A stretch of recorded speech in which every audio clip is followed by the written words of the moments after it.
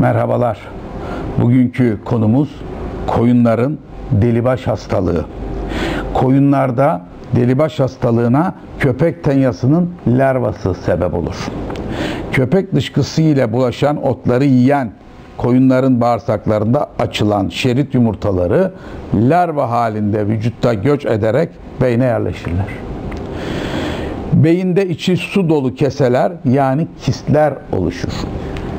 Koyun ve keçilere yapılan normal şerit mücadelesinin delibaş hastalığını önleme yönünden hiçbir etkisi yoktur.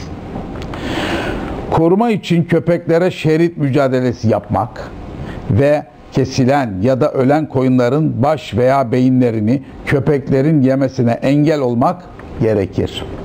Başka bir koruyucu önlem yoktur. Koyunlarda delibaş hastalığı görüldüğünde uzun süren, meşakkatli ve masraflı bir tedaviye ihtiyaç duyarız. Şerit ilaçları ile 6 14 gün devam edilecek şekilde en yüksek dozda verilerek tedavi yapılabilir.